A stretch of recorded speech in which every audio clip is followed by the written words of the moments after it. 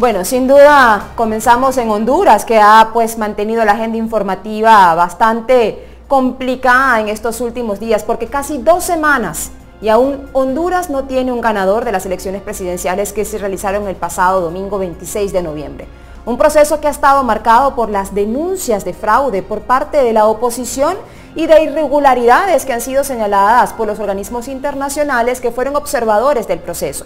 A petición de estos mismos organismos internacionales, el presidente del Tribunal Supremo Electoral, David Matamoros, anunció que se recontarán 4.753 mesas receptoras que no se transmitieron esa noche de la elección. Entre tanto, la oposición, sin embargo, asegura que esto no es suficiente y pide un reconteo total de las más de 18.000 actas que se usaron durante los comicios del 26 de noviembre.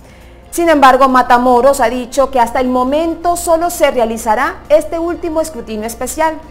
eh, pues con el más del 100% de las mesas electorales procesadas en la fórmula presidencial, el candidato a la reelección, el presidente Juan Orlando Hernández, quien por ley todavía no puede ser declarado presidente electo, ganó o habría ganado las elecciones con el 42,98% de los votos, mientras que el candidato opositor de la alianza opositora Salvador Nasralla obtendría el 41.38%. Ahora pues habrá que esperar que termine este segundo escrutinio especial para saber cómo quedan estos resultados electorales. Entre tanto, el país ha estado desde el pasado domingo, eh, desde el pasado viernes, ya tiene casi una semana, en eh, un estado de sitio que se ha ido flexibilizando a lo largo de los días. El horario de este toque de queda ahora fue modificado y eh, de los seis departamentos que aún tienen esta medida, solo se le aplicará desde las 10 de la noche y hasta las 5 de la mañana.